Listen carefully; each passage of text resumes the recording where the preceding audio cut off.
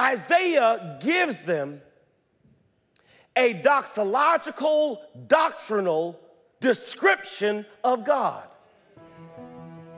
Here they are wondering how they're going to get out. And Isaiah reminds them the everlasting God, the Lord, the creator of the ends of the earth, doesn't faint or grow weary, and his understanding is unsearchable. Pause, you missed it. They're trying to figure out how they're going to get out. Isaiah says, You're asking the wrong question. Your question should not be how we gonna get out. Your question ought to be who's gonna do it. Because when you get the right who, you ain't got to worry about the how. Can I tell you why somebody in this place is discouraged today? Because you have forgotten who your God is.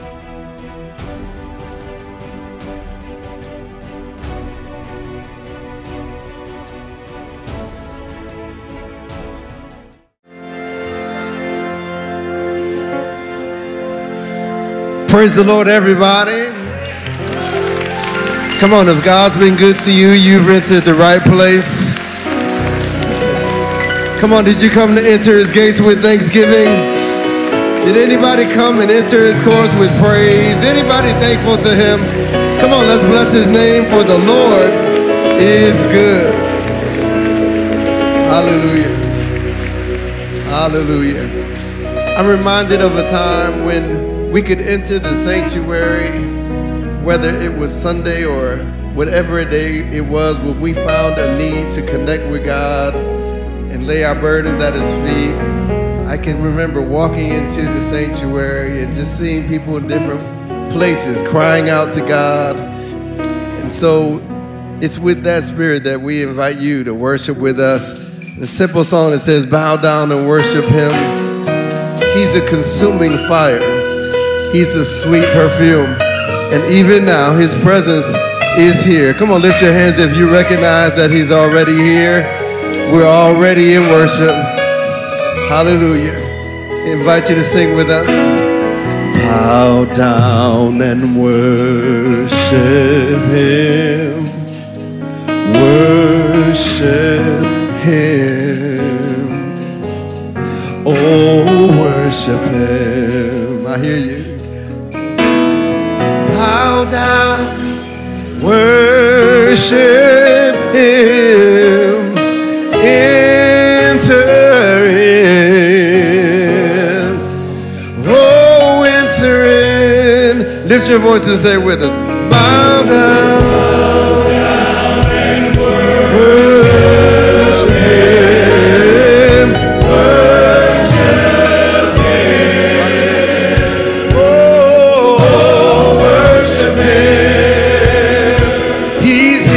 so come.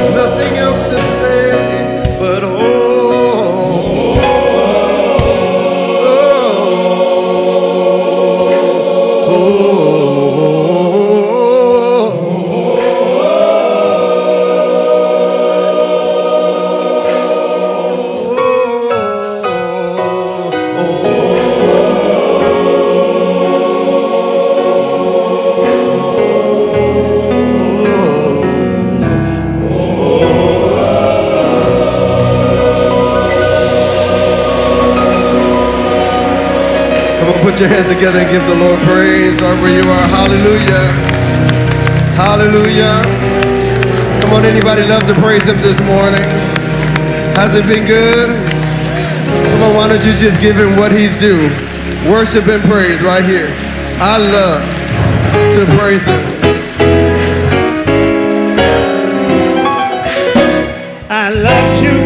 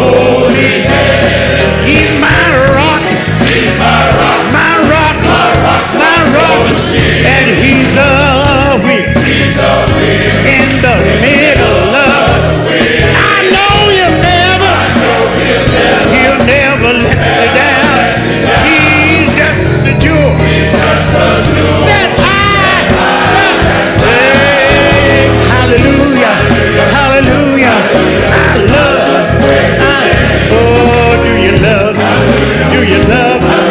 Do you love? Oh, hallelujah, hallelujah. I love. I love to put your hands in the air. Put your hands in the air. Say I love. Do you love the praise?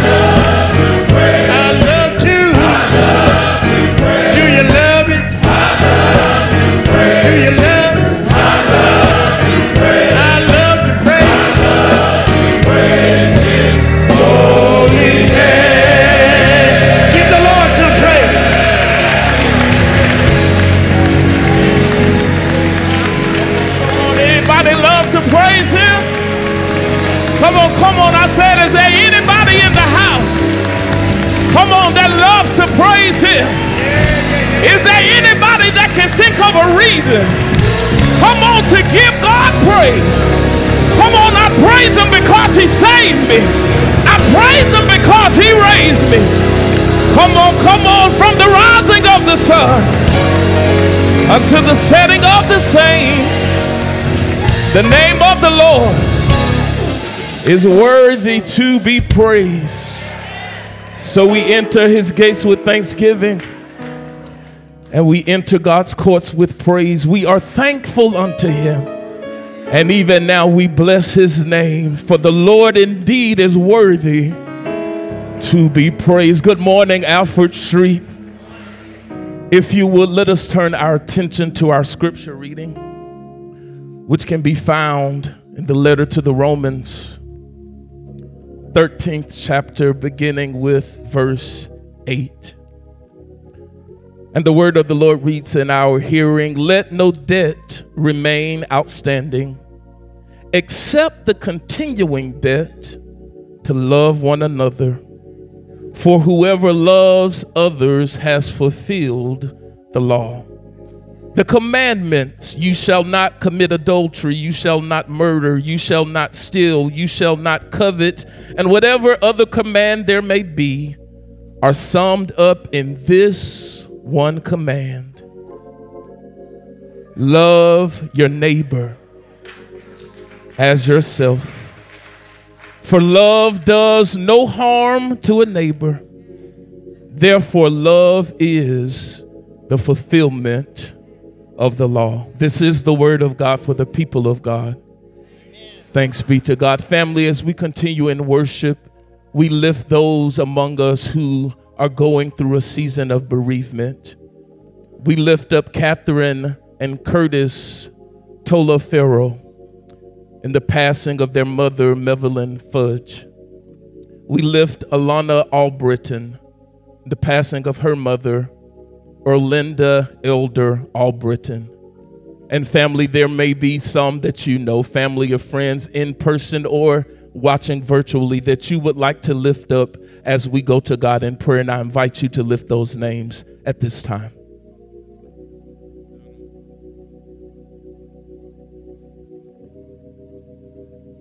Let us go to God in prayer. Oh God, our God, how excellent is your name in all the earth. In fact, God, there is no other name that is above your name. And it is that name that we have come to worship, that name that we have come to magnify and adore on this Sunday morning. God, as we come to give your name the praise, we also lift those in our community that are traversing the valley of the shadow of death. God, we know you to be a company keeper and a tear wiper. God, we ask that you would be an ever present presence in their lives. And then, oh God, as we prepare to go forward in this service, we lift up your manservant, the Reverend Dr. Howard John Wesley. Preach him like only you can. Allow him to preach to us that we may leave this place transformed and changed. It is in Jesus' name that we pray and give thanks, and we simply say to have your way in this service. And all that agree with this prayer said, Amen. Sisters and brothers, at this time, we ask that you join your voices with the male chorus as we lift an old familiar hymn of the church, Blessed Assurance.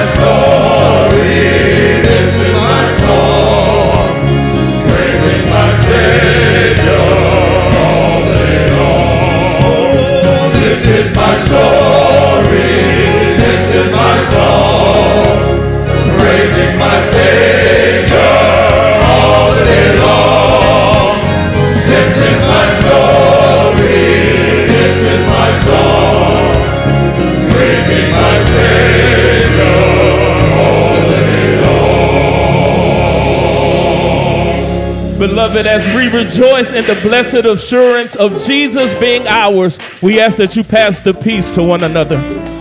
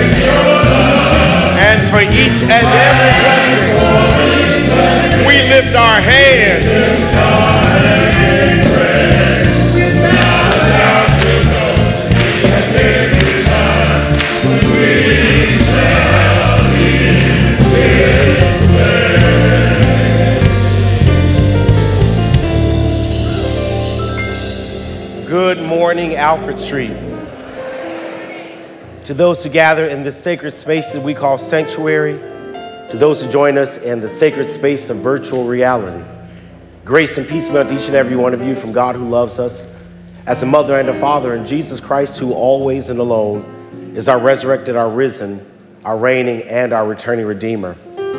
This moment, as we enter into worship, we remind ourselves that the only thing that grants us access to the presence and the power of our God is the name of Jesus Christ. That in Him we live and move and have our being, and that in Christ we are new creatures. That Christ paid the price that we might dwell in worship and lift up the name of a God who is omnipotent, a God who is faithful, a God who's loving, and a God who is forgiving. That's why we break bread and share in cup. We have an open communion at Alfred Street that we celebrate and share with anyone who's accepted and believed in Jesus Christ as your Lord and Savior. When you came in today, prayerfully, you received the elements of the Lord's Supper. If you did not, would you just wave a hand? There are deacons who are prepared to serve you now. We invite our online family to join in the reverence this moment as well, as you lay hold of whatever bread and cup you will use to represent the body and the blood of Jesus Christ, our Lord and Savior. As we take hold of the bread, this bread represents the broken body of Jesus, who alone and always is our Christ. He was crucified for our sins. He died on the cross. He was buried in a borrowed tomb. Three days later, he arose victoriously by the power of God. He showed himself a risen Savior. He ascended into heaven. He is sitting at the right hand of the Father, making intercessions for our sins. And one day, to the glory of God, we believe he is coming back. Let us break bread and eat together.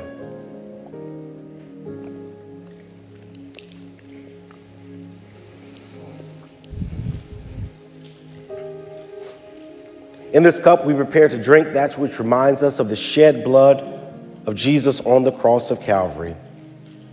There's so many hymns that remind us of the power of the blood. I remind you today that nothing can wash away our sins other than the blood of Jesus Christ. And that in his blood we are forgiven. Let us drink together.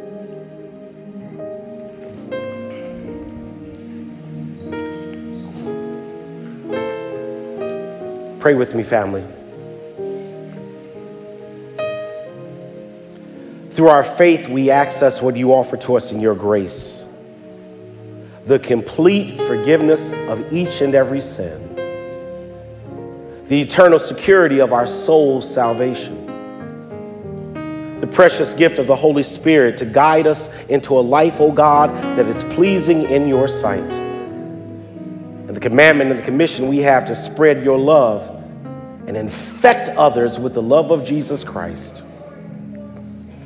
God, you have forgiven us.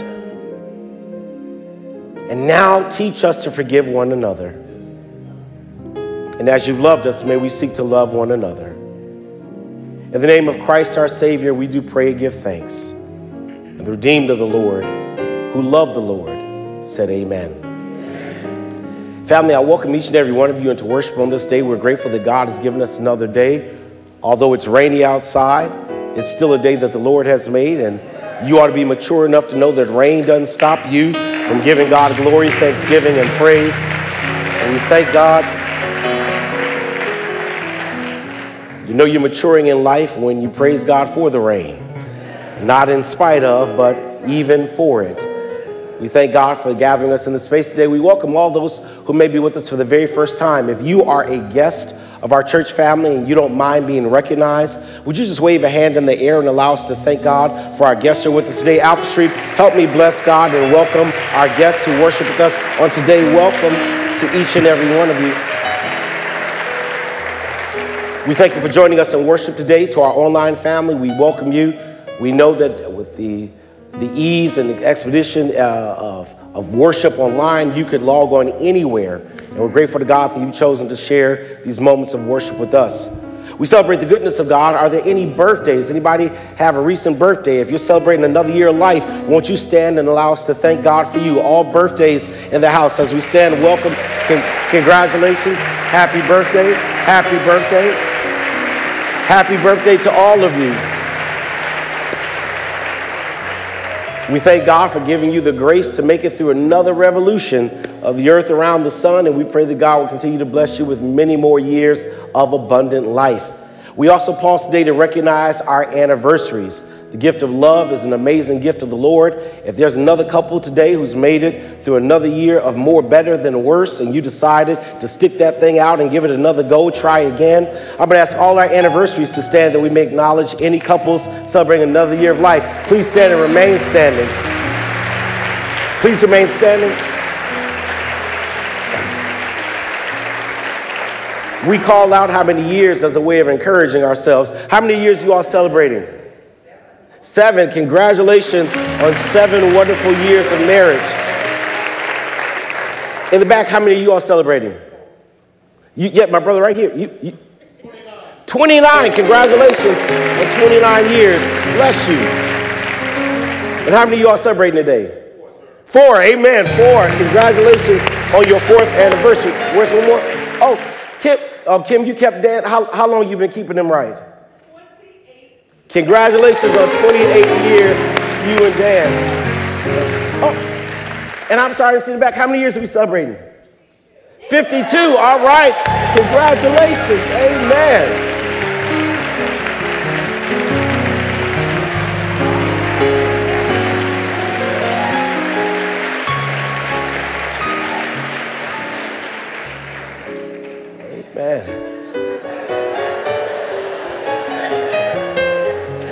Lean over somebody say, Be encouraged. Be encouraged.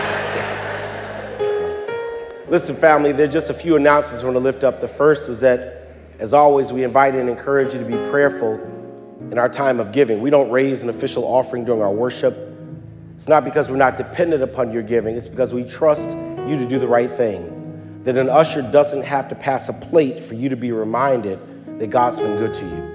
And in response to that, we give generously back to the Lord what the Lord places on our heart. I could stand today and give you a sermon about tithing, but at the end of the day, the truth of the matter is when you pray and ask God what to give and you obey what the Lord says to you, the church will be blessed and benefited for the work that we've been called to do. So I want to invite and encourage you to use all the platforms available uh, that are convenient for you as a way of giving um, unto Lord. Nope, nope, nope. We've got altar call.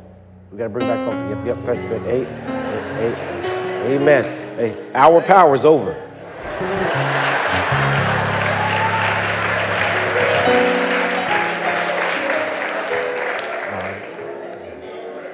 So won't you be won't you be faithful in your giving, obedient in your spirit and generous as you render to the Lord that which God placed upon your heart to do. I want to thank all of you all who were able to participate and those who helped in the planning of our beginning of our celebration of 15 years of Pastor and People. Last night we gathered and were blessed in music of worship by Israel Houghton and New Breed. Typically, I don't like surprises, but I like that one last night. To hear one of my favorite worship artists come and to bless us in song. And I thank all of you all who are able to participate. Don't forget that although you may have missed Israel, you get me on the 20th of September. Um, amen. We, we're gathering in this space for praising and praying with the pastor. So if you couldn't hear Israel sing it, come on out and, amen, share with your pastor uh, for a night of singing the hymns of the church and for some concerted time in prayer. And then, if you will remember, on the last Sunday of this month, uh, we welcome Wheeler Avenue Baptist Church. They're bringing their mass choir to be in worship with us. Remember, is that the 28th or 24th? The 24th. On the 24th, we will not be in this building. On the 24th of September, we have one worship service at Strathmore at 11 a.m where we'll welcome Wheeler Avenue, their pastor, the Reverend Dr. Marcus Cosby, and their mass choir to join us in the celebration of what God joined together some 15 years ago. And so, if you would join us either live or online, that service will be live streamed. But please don't show up here. We will not be here at 8 o'clock. We will not be here at 11. We'll be over at the Strathmore, and we invite you to join in with us. Tomorrow is a day of remembrance of September 11th. We remember those whose lives were sacrificed in an act of terror. We remember our own member, Ada Mason, and her family, whose life was taken on that day, as well as we pray for this nation as we continue to heal and recognize, oh, Otis, that the greatest terror we threat, face is not foreign, but the greatest terror is domestic. And we pray for the healing of this land.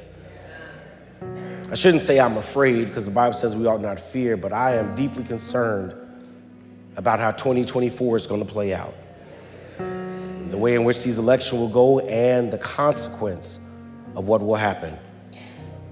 And God says, My people were called by my name when they pray, that God will answer. So we want to bring back altar call. Um, an opportunity to come into pray. And today I want to lift up a special prayer and invite to the altar those who are involved in our school systems. Our children are back on campus, and we all know that that's become a target for those that are demonically minded. Today, you can stand, you can sit, you can come to the altar, but especially if you are a principal, an administrator, a counselor, a teacher, a concerned parent, a grandparent, an aunt, that you want to stand in for a child that we're going to cover in prayer today, I invite you to the altar. The altar is open for those who want to come. You can stand, you can sit, you can come to the altar. But let's get ready to pray over our children and our schools this morning.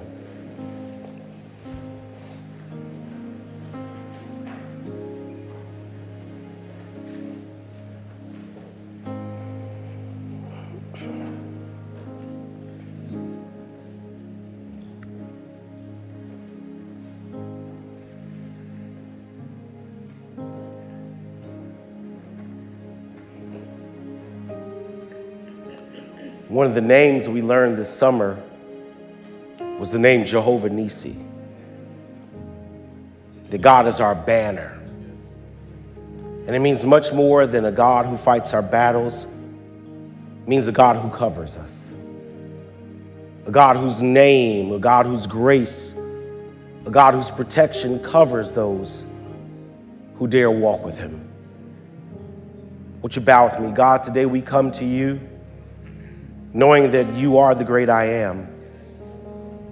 And we're so grateful that you are Jehovah Nisi, our banner, our covering, the one whose hand keeps us from hurt, harm, danger, and terror. Today we come believing, oh God, that the same hand that kept Job safe when the enemy targeted him is the hand that rests over those for whom we pray today. We pray, O oh Lord, that as this school year begins and our valuable and our vulnerable loved ones that we call children, as they make their way on that campus, oh God, as they make their way into those school buildings, as they walk into classroom. God, I am grateful that you are not limited or locked into the corner of Duke and Alfred Street. That it doesn't have to have a cross on the steeple for you to be present in the building. There don't have to be Bibles and hymnals. There can be math books and textbooks right in front. And right there, you show yourself strong. Today, oh God, we pray your covering over our children. One too many time we have seen the demonic mindset of those who would dare enter these sacred spaces and attack those who've done nothing. God, I feel it not wrong. In the name and by the blood of Jesus, to ask you to cover our classrooms. God, we pray that you would be in the heart and the mind of those who serve not because they're paid well, but because they're called to this assignment. For those school teachers, oh God, for those administrators, for those counselors, for those who seek to raise up a generation that changes this world. God, we pray over their hearts and their minds. God, we pray that you would give them a spirit not to grow weary in well doing, that you allow them to hear the words, well done, that you give them a joy that a salary could never provide God, that they would hear the testimony of children that say, Because of you, I did better. Because of you, I believe. Because of you, I'm able. Because of you, I rose above stereotype. God, thank you for those who serve, for those who teach, for those who guide. God, I want to pray for the relationship of parent and teacher. God, that we be reminded as those who raise our children that we do not send them to school, but we partner with the school to raise them that they may grow in their mind and their strength. God, build a partnership between parent and teacher. God, I want to pray over all those who enter that building. I want to pray for those that work behind the lunch counter. I want to pray for those who hold the broom and the mop. I want to pray, oh God, for the security guards that are in that place. I want to pray for the crossing attendants that stand outside blowing the whistle. God, may your grace rest upon each and every one of them. God, we pray for our children. I would right now that you mention the name aloud of a child that you know you're praying for right now. Name them in this space.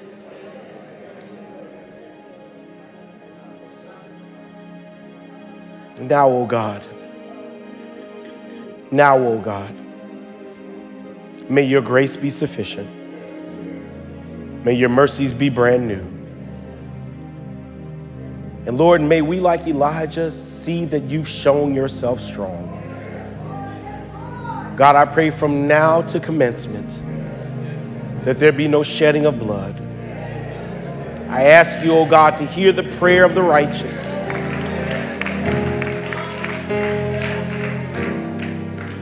blood of Jesus was all that ever needed to be shed. Hear our prayer, O Lord. Incline your ear unto us and grant us your peace. And now unto him who is able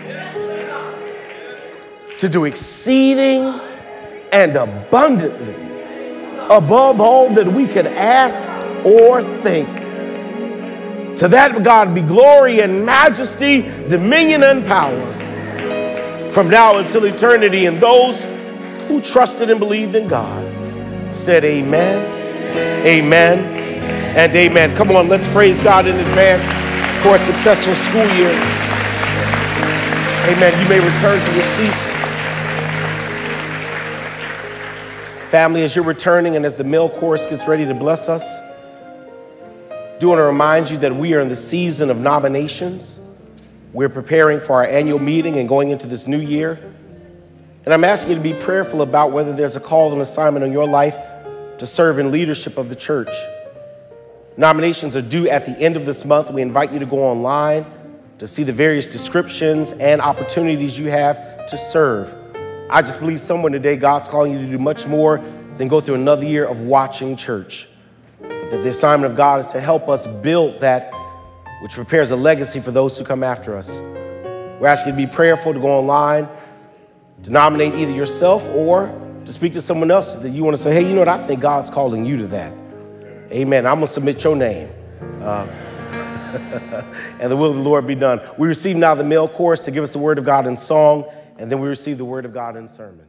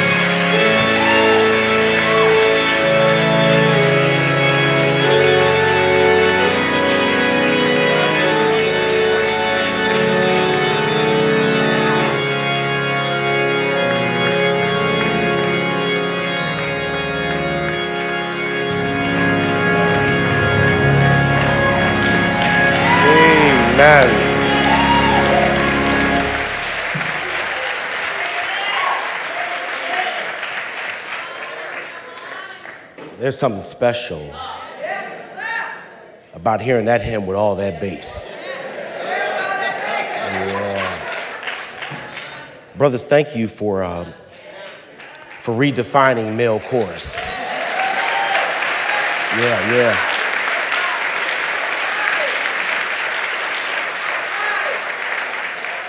I've been in many a church, and when you hear the male choruses singing, just pray the Lord get you through. But, brothers, thank you. Thank you. Help me bless God for the men of Alfred Street one more time.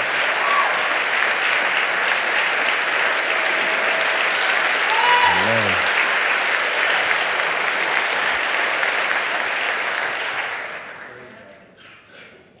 Speak, Lord, for your servants are listening.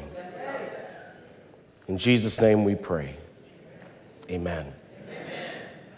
A little while ago, I was speaking with one of my mentees in ministry. We start reflecting over these 15 years we've shared as pastor and people. He said to me, Pastor, let's play a game. I want to play a game called Pastor's Picks. I didn't understand what he meant at first there, but he said, I want you to share with me your favorites. Give me your 15 favorite books or authors that have shaped your ministry. And very quickly, I was able to rattle off the 15 books that have shaped me, like The Cost of Discipleship, books by Howard Thurman, the works of Ralph Ellison and, and Toni Morrison. He then said, All right, well, list for me your 15 favorite gospel hymns and, and artists. And I was quickly able to rattle off, Come Thou Fount of Every Blessing. I was able to share with them the worship songs that have shaped my life. He then said, Share with me your top 15 favorite preachers. Without pause, I was able to name my father and Gardner Taylor and, and Sam Proctor and Gina Stewart, Elaine Flake, preachers that have shaped who I am.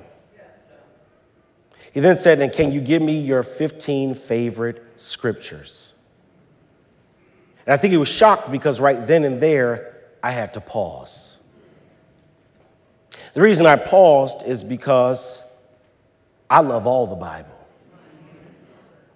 All 31,102 verses, they're in the Word of God, have a way of leading you into the abundant life that Jesus died for you to have. Y'all, let me tell you without shadow of doubt or with any fear of contradiction that from Genesis 1 and 1 to Revelation 22 and 21, that if you read the Word of God, it will align your life with the will of God and keep you from damnation in this life and the next. I believe the Word of God. I sign up with the psalmist who said in Psalm 119, Thy word have I hid in my heart that I might not sin against God. And that's why for these last 15 years, I may have sounded like a broken record because I've stood here Sunday after Sunday and told you the same thing. Read your Bible, it'll make you a better Christian. I pause, Ricardo, not because I didn't have a favorite, but that I recognized that as the seasons of my life have changed, and as I've had to go and grow through the inevitable challenges that all of us will face, as I've had to stand and face the trials that all of us will go through, I found that there have been different passages that I have recited to myself. Because, CJ, I come to tell you, you better know the Word of God because you're going to need the Word when you don't have a Bible. Let me say that again. There's going to come a moment when you need the Word even when you don't have a Bible. And based upon that conversation, I want to take these next few Sundays in September and October and ask you to allow me to preach a sermon called Pastor's Picks. I want to walk you through some of the scriptures and the verses in the Bible that have held my life together. Promises of God that have kept my hope alive. Scriptures that have given me the strength to face whatever life might bring, whatever God might take me through. I want to share with you how Galatians 6 and 9 held me together when Paul says, Let us not grow weary in well doing. For in due season we shall reap if we faint not. I want to remind you why Romans 8 and 18 means so much to me, for I reckon that the suffering of the present age is not worthy to be compared with the glory that God shall reveal in us. I want you to know why my mama made me learn Psalm 24. Lift up your heads, O ye gates, and be ye lifted up, ye everlasting doors, and the King of glory shall come in. Who is the King of glory? The Lord, strong and mighty. He is the King of glory. I want to tell you how, in the death of my father, Paul's words in Second Corinthians, that if this earthly tabernacle passes away, we've got another home.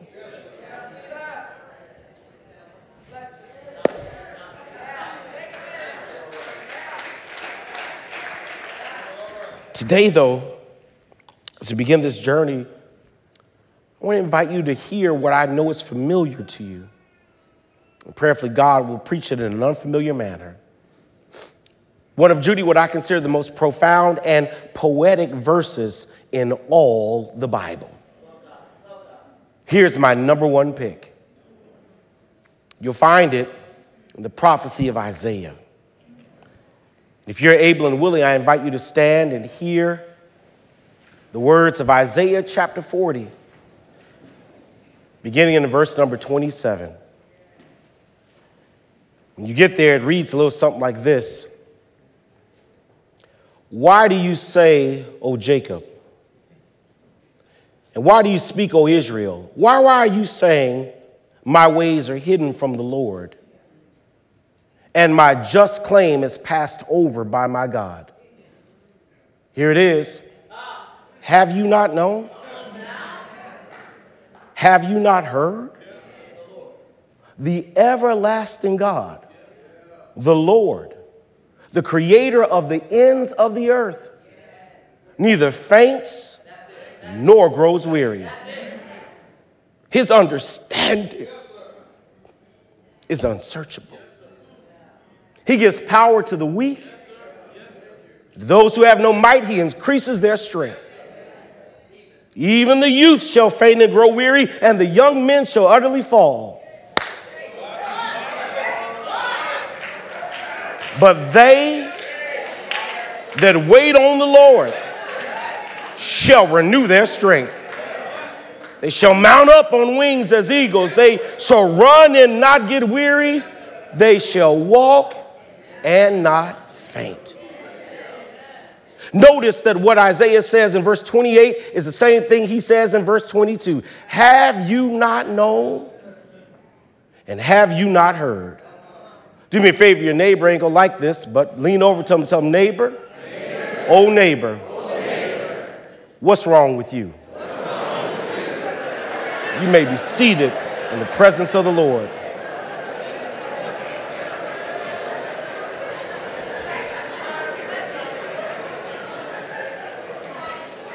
Have you not known? Have you not heard? What's wrong with you? These words are familiar to most of us in this place. If you've been in church for more than a season, you've probably come to a place in your life where you've recited these words to yourself They that wait on the Lord. Paul Hanson, a scholar of the book of Isaiah, says that these words are a succinct summary of the entire book of Isaiah. If you read all 66 chapters, Aaron, the one thing you ought to walk away with is this They that wait on the Lord shall renew their strength. If I can teach Bible, Jeremiah and Ezekiel are longer than Isaiah in terms of word count. But Isaiah's prophecy, with its 66 books, covers a longer period of time than any other book in the Bible. The prophecy of Isaiah in chapter 1 begins sometime around 742 BC during the reign of King Uzziah. The prophecy continues through the reign of Jotham, continues through the reign of Hezekiah, continues through the reign of Ahaz, continues through the destruction of Jerusalem in 586 by Nebuchadnezzar, continues through the Babylonian exile and goes all the way to the end of the exile when those who've been exiled are returning back to Jerusalem. As a matter of fact, if you total it all up, Isaiah covers 226 years. Touch somebody tell them that's a long time.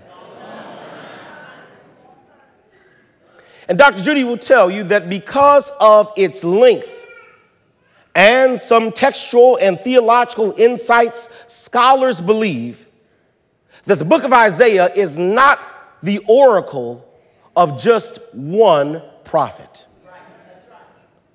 but rather Isaiah, the book you read, is really the prophecy of at least three men.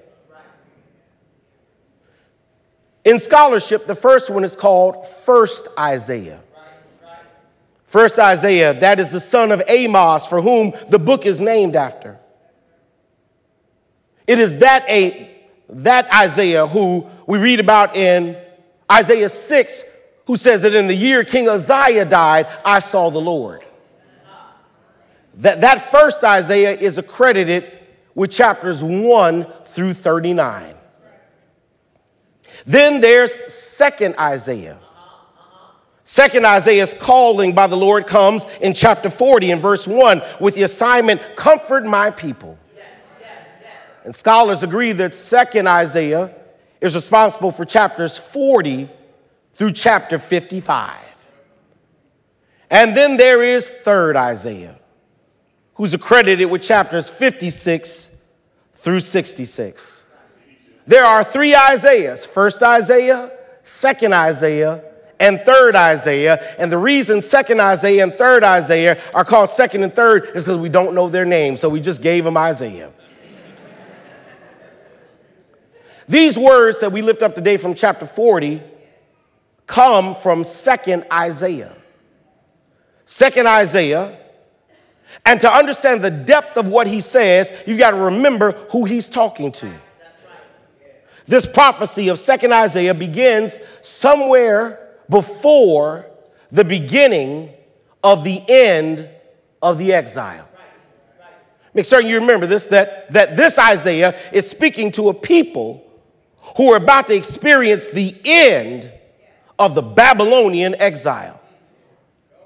There, these are the people who watched and witnessed the destruction of Jerusalem. They still have in their mind the images of the temple being destroyed. Otis, they can close their eyes and, and smell the fires of their homes burning. They have the trauma, Latasha, of, of knowing that they were snatched from their homes and forced to live in Babylon. These are people who got to Babylon and believed it would only be for a little while, only to find out we're going to be here for some time. These are the folk who have given up hope that anything will ever get better. These, Lolita, are people who have given birth to children in exile. They have the commandment to raise these children with faith in God, but they're struggling to pass on the faith to their children that they don't even have themselves. These are the people, Judy, who wrote Psalm 137. Psalm 137, they say, We sat by the rivers of Babylon, and they said to us, Sing one of them praise songs. And these folks said, How can we praise God in a strange land like this? These folk have gotten to a place where there is no hope, there's only despair, and they believe God ain't even worthy to be praised in the middle of this. And God calls this second Isaiah to come to these people and tell them it's the beginning of the end. When you go home and you reread Isaiah 40, you'll see in verse 1 through 11, the prophet is given this assignment comfort the people. And when you read verse 2 11, God says, This is what I want you to tell them. Tell them that your debt has been paid. Tell them that I'm about to return them back to Jerusalem. Let them know the glory of the Lord is about to be revealed. Let them know things are about to get better. Let them know I've heard their cry and I'm coming to deliver them. Give them a word of hope. Give them a word of encouragement. Reignite their faith. Let them know God is about to do something. In case you ain't got it, he assigns the second Isaiah just like he did Sam Cooke.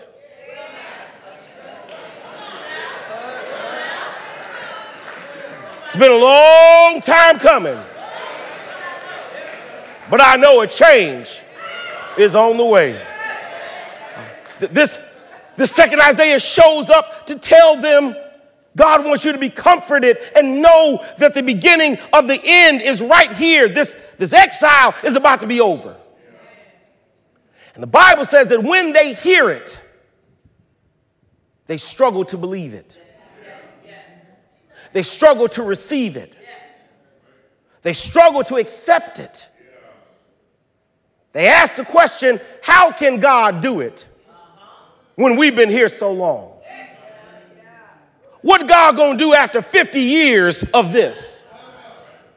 How can God deliver us when Nebuchadnezzar is still on the throne?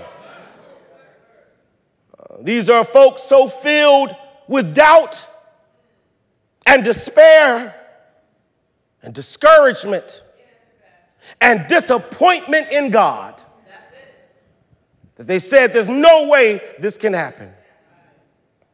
Beloved, allow me to tell you before you judge them that if you live your life long enough, life will put you right there. If you live long enough, life will put you in a place where you've been waiting for it to happen so long, you begin to doubt if it will ever happen. Somebody, you know what it's like to be praying for something so often and get no answer that you convince yourself ain't no point in praying anymore. Somebody, that you know what it's like for your hopes to be so discouraged by your reality that now you've de- declared to yourself it is safer just to live with no expectation. You've dealt with so many bad folk that you just convince yourself everybody ain't no good. You've been waiting on God for something for so long that God has not done that now you've given up expectation that God will ever do it. And you can reach a place where you begin to lose your faith in the goodness of God and in the reality of God. Yeah, I know I'm preaching to you because that's where these Israelites are. When they hear these words from 2nd Isaiah, they say to him in verse 27, God don't care about us. God doesn't see what we're going through. God gave up on us a long time ago. If God cared, this wouldn't be happening. Beloved, I know your Bible is big and I know you know all the words of great is thy faithfulness. But allow me to tell you that none of us are immune from verse 27. You keep living long enough, life will put you in verse 27. Life will put you in the place where you feel like God has forgotten. When it feels like the Lord ain't answering your prayers when you come to church and you hear this preacher preach and you walk out and believing that he was talking to everybody but you. Because if God cared about me, this wouldn't be happening to me. Now I want you to watch what happens. They, they, they've heard the word of encouragement. They've heard the gospel of Sam Cooke. They say back to the prophet, there's no way this can happen. And watch how Isaiah shifts this prophet who was called to comfort, this prophet who was called to encourage, this prophet who was called to bring a good word. He looks back at him and says, Hold on. Have you not known? Have you not heard? You know what he says in the real sense? What's wrong with y'all? And I came by to ask the same question of someone who's sitting in verse 27 on this Sunday. What, what's wrong with you? How do you come to this place with, with that kind of doubt and that kind of discouragement? When did you lose your hope? When did your faith evaporate? When did your expectation die? When did you let go of God? When did you convince yourself that nothing good will ever happen? What's wrong with you? Look, listen, listen to what Isaiah says to folk in verse 27. He said, Have you not known? Have you not heard? Watch this. The everlasting God, the Lord, the creator of the ends of the earth, neither faints nor grows weary, and his understanding is unsearchable. You, you missed it. Uh, uh, they're saying God has forgotten about us, and God has abandoned us. And Isaiah says, The everlasting God, the Lord, the creator of the ends of the earth, neither faints nor grows weary, and there's no searching of his understanding. Okay, one more time for those that slow up top. Um, the everlasting Lord, the creator of the ends of the earth, he doesn't faint, he doesn't grow weary and there's no understanding what he's doing. Y'all, y'all watch this. They are trying to figure out how God will bring them out. And Isaiah's answer is a doctrinal, doxological description of God. Okay, you, you missed it. They want to know how. Isaiah says you're asking the wrong question. Your question should not be how. Your question should be who. Because if you got a hold of the right who, you ain't really got to worry about the how. What? Here's, here's your problem. You have forgotten who your God is. So he said, let me pause and remind you about the God we serve. We don't serve some weak and wimpy God. We don't serve some God who watches your life like you watch Sunday football. We, we don't serve a God who decided to walk away from you because you messed up in life. We don't serve that kind of God. Your problem is you need to be reminded of who He is. He is the everlasting God.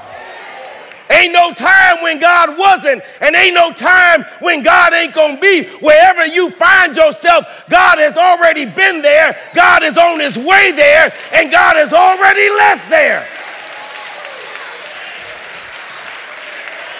He's everlasting, and He's the Lord.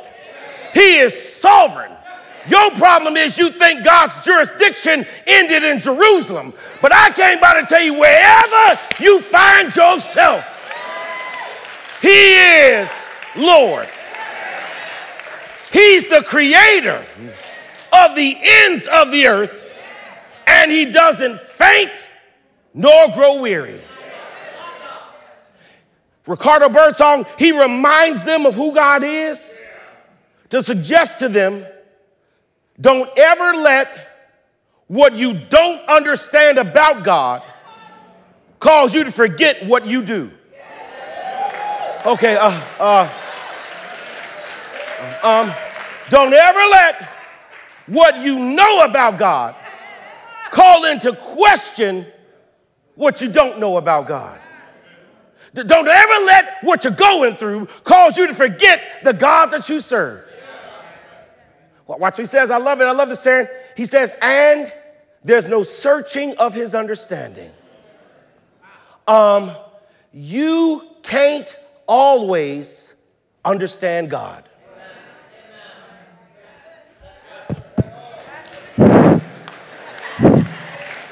I'm sorry. You can't always understand God.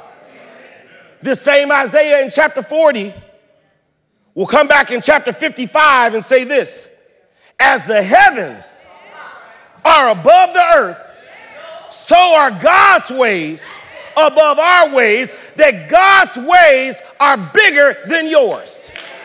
That you can't always understand God. I don't know who needs to hear this, but nobody has a PhD in God.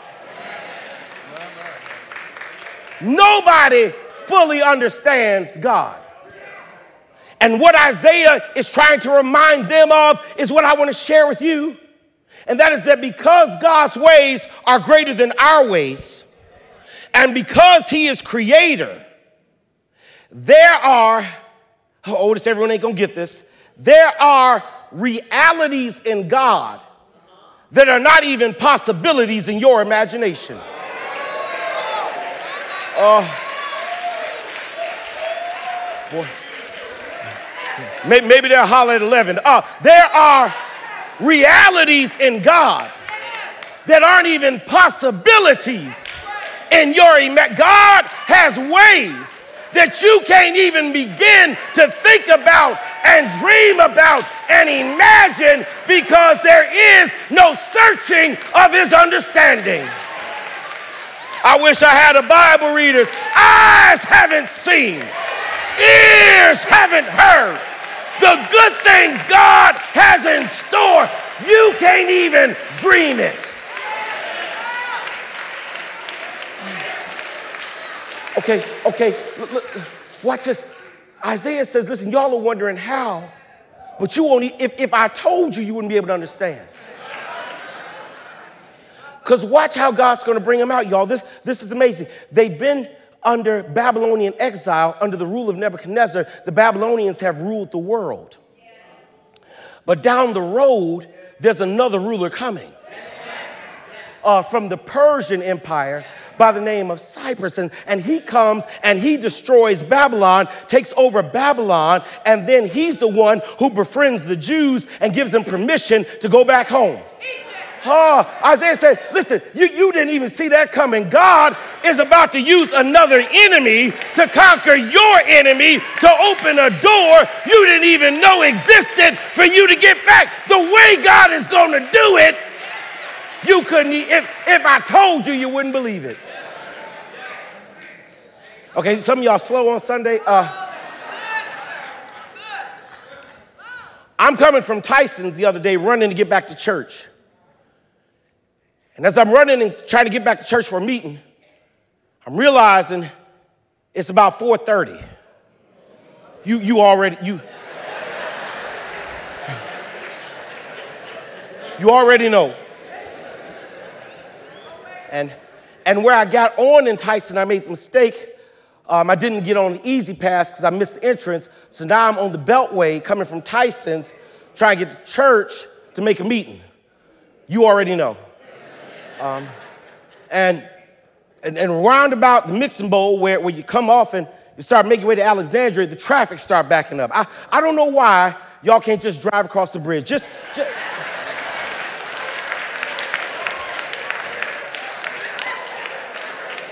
That accident over there ain't got nothing to do with you. You just.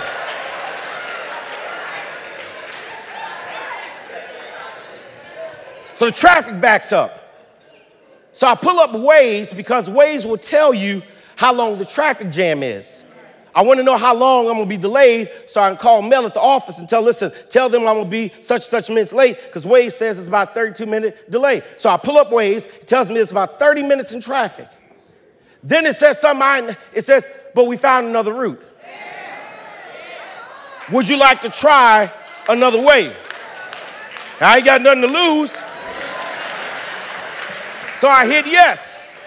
Dr. Joyce, this tripped me out. It pulled me off the beltway, took me around the neighborhood, had me drive down through Kingstowne, wound up putting me on Telegraph to then swing around Delaney Lane and go through another residential neighborhood and come up on the backside of church. I didn't even know you could go that way.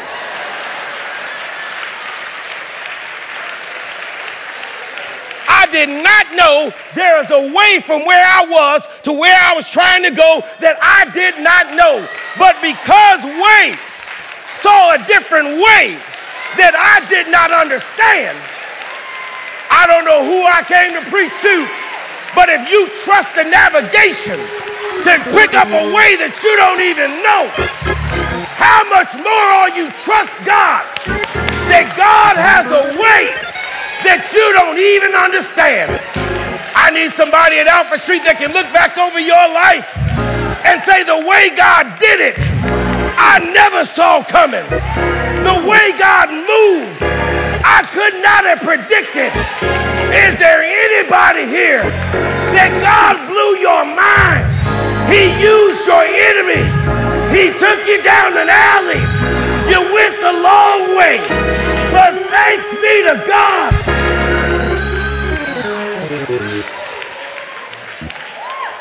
Um, he says, You need to remember who your God is. And you're worried because you don't understand how. But God has ways you couldn't even begin to understand. I'm sorry, but let me tell you, there are folk in here who know you got yourself in some mess.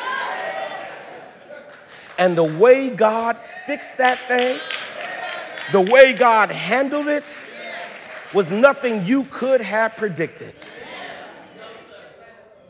So the everlasting God, the Lord, the creator of the ends of the earth, and the faint over is weary. His understanding is unsearchable. Y'all need to remember who your God is. And then I love this, and he gives power to the weak and the faint. Watch this, watch this. You, you're going to love this. I'm going to see if you love Bible like I do. Isaiah says, God doesn't faint or grow weary, but he gives strength to those who do. Uh, God does not grow faint or weary, but you and I do. And when we get faint and weary, God gives us strength. I was doing my sermonic homework so that I could be certain to teach today, and I noticed that the words faint and weary show up repeatedly in this prophecy. So I've been taught to learn to look at the original languages to understand what may be missing in English. And so, because I read a little bit of Hebrew and because I employ a professor of Hebrew at Alfred Street Baptist Church, I always have access to a dictionary. and the terms for faint and weary literally mean to get exhausted to get weak. You know a literal translation means? To reach a place where there's no more effort. Faint and weary is when you've been going through it so much, you just ain't got no more try in you. You ever been faint? You ever been weary? You ever been a when Marvin Gaye folk make me want to holler? Throw a birth my hands. You ever, you ever had a Teddy Pendergrass moment, better let it go?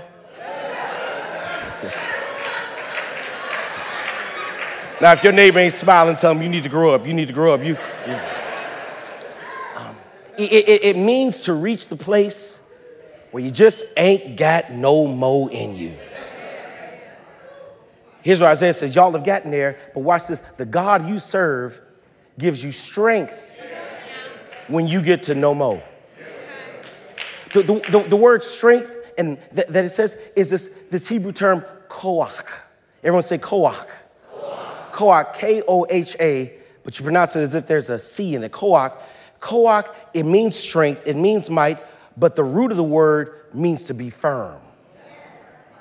Here's what Isaiah says when you ain't got no more in you, God will help you be firm. uh, God will give you some uh, back in your backbone. God will give you some steadfast, unmovable, always abounding, which is a Bible reading in this place, in the work, Lord. God will give you some, I'm standing on the promises of Christ my King. Through eternal ages, let his praises ring. He'll give you some hold to his hand. God's unchanging hand. He'll, he'll give you some, I shall not be moved. He, he gives you some firmness when you ain't got no more effort in you. Can I push it? The word koach, the root is firm, but Judy, this is what killed me that sometimes the word koach was used to describe, watch this, a lizard. A lizard? L- lizard?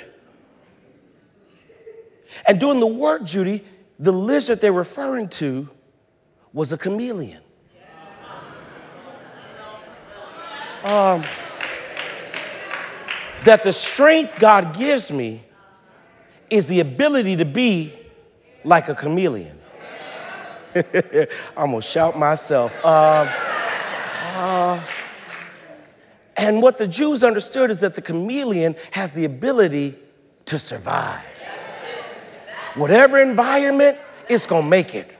Whatever invite's gonna do, whatever it's got to do, because you ain't taking me out. The chameleon says to itself, there's something inside of me that says, no matter what, if it's green, I'm gonna make it through green. If it's brown, I'm gonna make it through brown. If it's gray, baby, I'm gonna make it through gray. So what God gives me is the firm ability to survive.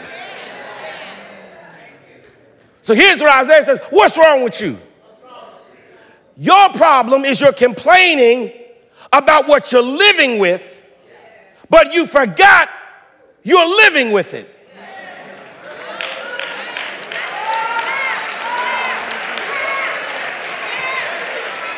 Y'all gonna make a brother preach on Sunday? Uh, um, you, you're, you're complaining that you're going through it, but you forget you're going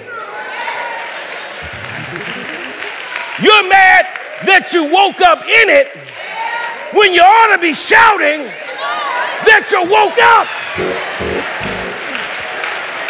I wish I had some folk in here that are mature enough to be able to praise God in the middle of it because God is still helping me survive what I'm going through.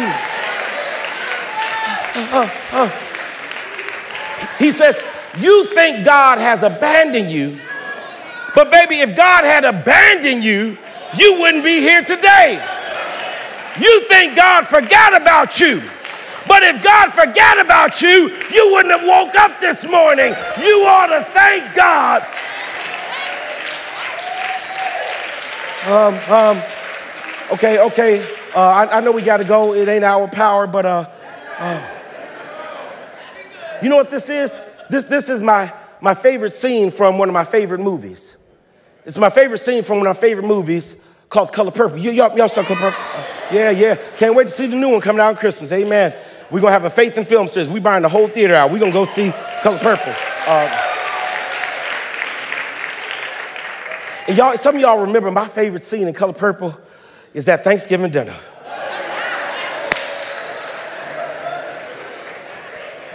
Because because that's when Miss Celie decide she done had about all she gonna take. Y'all, y'all remember Shug came in. Shug talking about she leaving and she going back get on stage and, and Tweet said, I'm going with Shug. And, and then Miss Celie said, I'm going with Shug too. And, and, and, and Mr. looked at her and said, you ain't going nowhere. And she grabbed that knife out that turkey.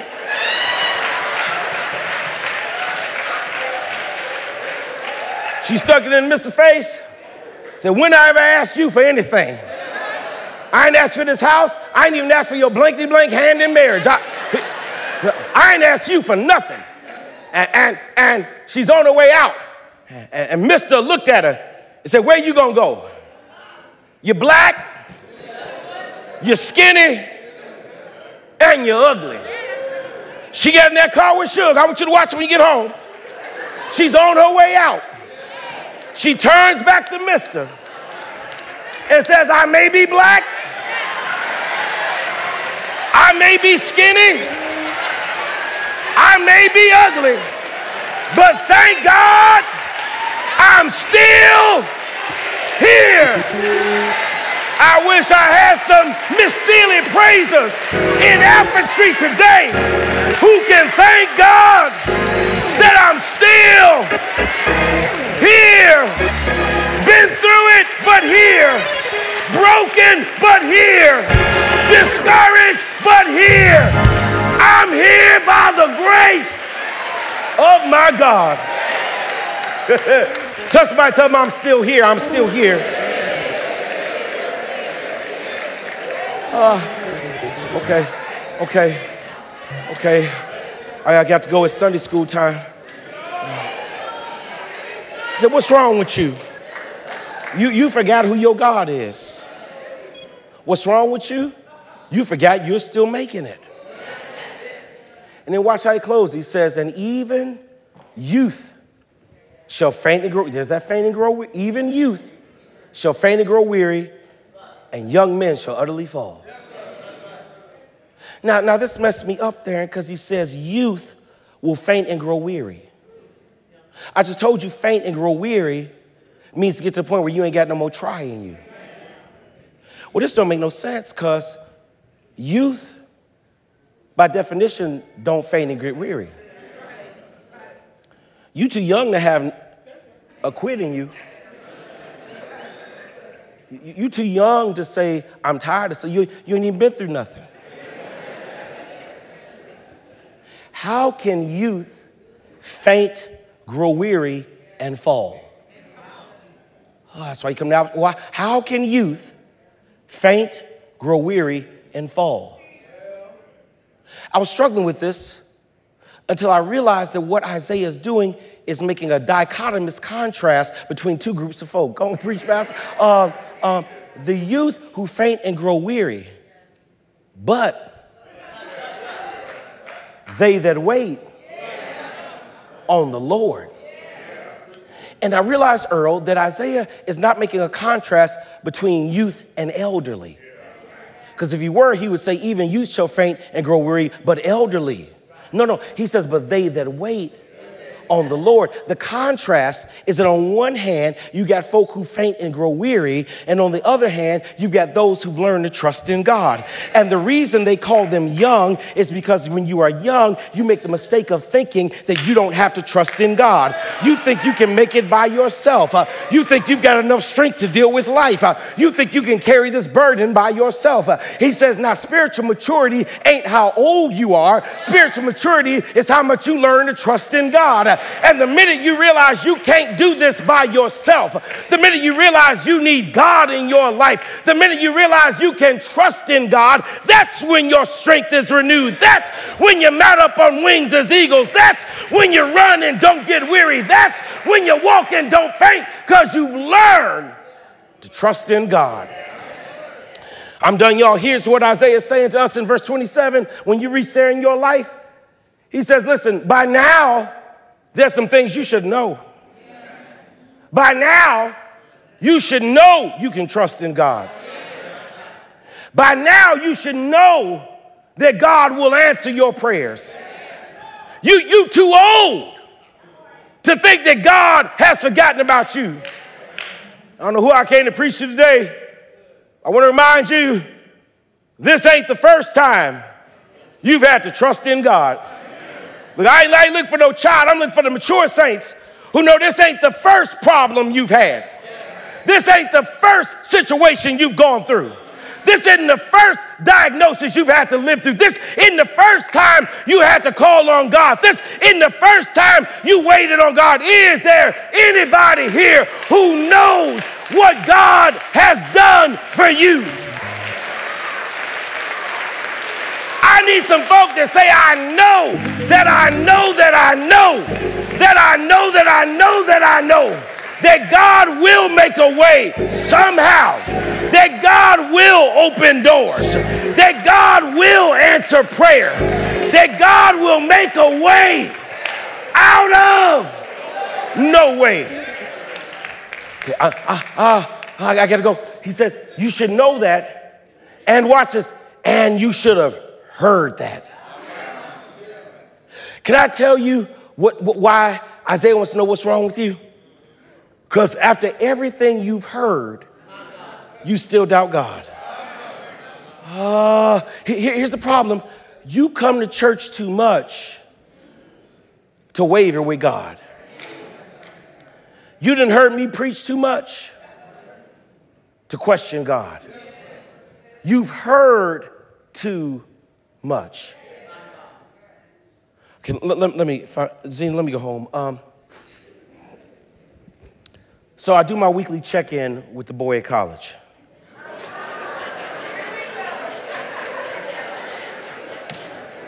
You know, because he won't call or text me, so I got to track him down. And, and, and, CJ gets mad because I don't want to do it on text. You, you're going to talk to me. Because if I text him, he give me one word answers. How you doing? Fine. High school good. Anything happening? No. You need anything? Money. You know.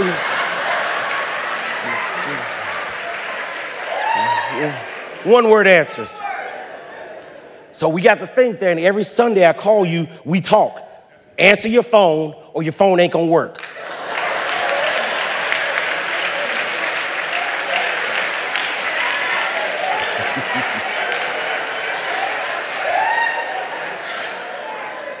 So I called him. I said, man, how's school going? He says, Dad, I'm a little nervous. I got my first test coming up. He's got his first test there. They're, they're, I can't believe it. It's going by so fast. They're almost in midterm. They're almost in midterm after a month. So he said, Dad, I got my first test coming up. I said, well, son, have you studied? He said, yeah, I've been studying. I said, have you prayed? He said, yeah, I've prayed about it.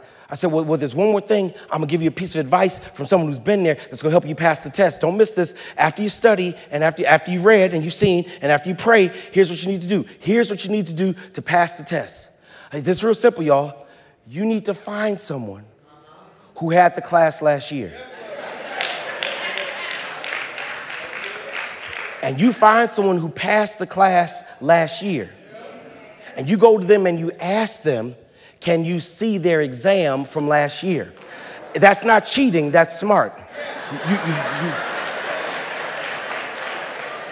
no, if you're gonna pass the exam, you got to find someone that's already taken it and ask them what the answers were. Because if you find someone that already passed it, they can give you the answers that you need to pass the test you're about to take. You ain't caught it yet. That when you're about to face it yourself, you got to find someone who's already been through it and ask them what was the answer to the exam. And if you find someone that's already been through it, they will tell you how to make it through when it's your turn. Goodbye, Alfred Street. May the Lord bless you mighty good. But I come here every Sunday looking for somebody that's already been through that, somebody that's already faced it, someone that's already lived through it. That's why you ought to encourage your neighbor and let them know God is able. And if God did it for me, then God is able to do it for you. All right. Uh, what's wrong with you? Don't you know who God is? What's wrong with you? God hadn't abandoned you. You're still living in this. What's wrong with you? You've, you've seen too much. You've heard too much. So here's what I'm encouraging you to do. It's real simple. Here's the end of the matter. Wait on the Lord. The saints used to put it like this you, you can't hurry God. you just have to wait. You got to trust and give him time.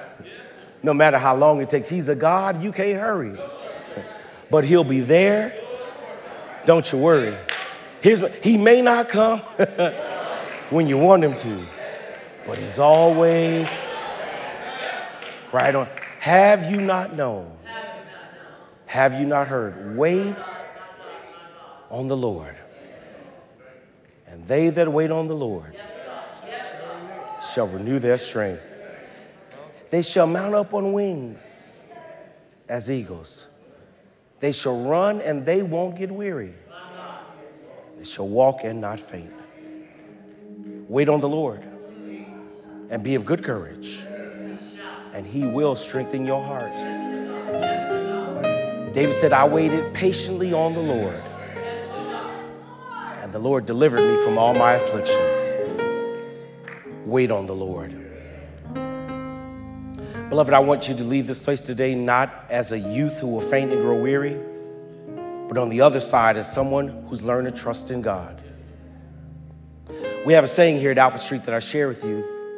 That's I'm not promising you that life with God will be easy, but I am assuring you that life without God is impossible. That you can't carry this by yourself. You can't make this by yourself. You can't handle this by yourself.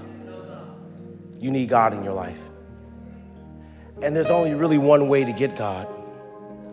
It's not simply by joining church, it's not by being religious, it's not by going down to the bookstore and getting a Bible and a hymnal. It's by opening your heart to the Lordship of Jesus Christ. I know it's not politically correct, but Jesus declared, I am the way, the truth, and the life. No one comes to the Father but through me. The only way I can recommend you to get in right relationship with God is through Jesus Christ. And once you get right with God, God calls you into right relationship with others. Salvation is not an isolated experience. It's one that requires membership in a family of faith. And if you're looking for a perfect church, stop, because there is none. But if you're looking for a place that pushes you to grow and to love and to serve, I recommend this family of faith. Whether you're with us today or if you're watching online, this invitation is extended to you.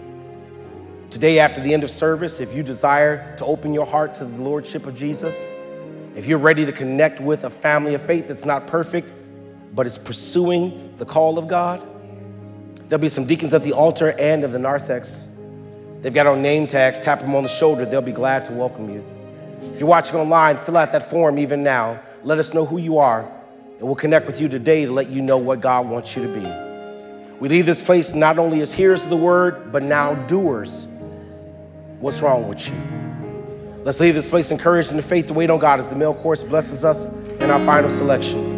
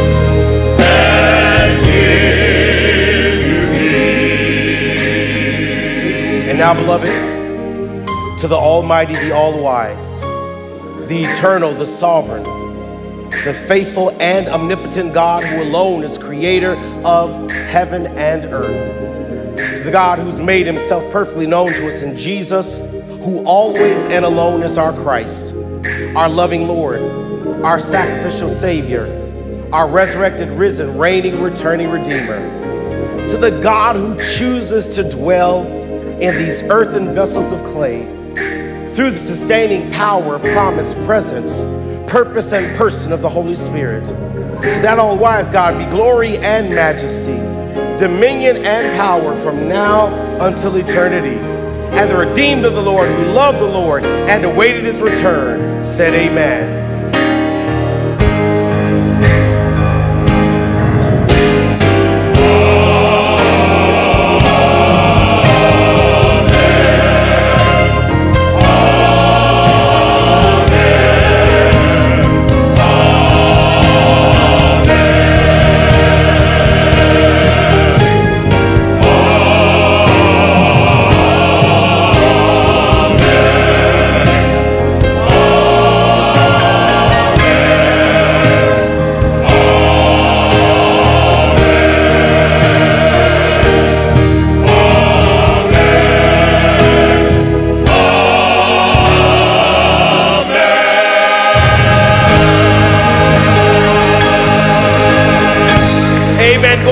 Of God, and may the grace of God go with you.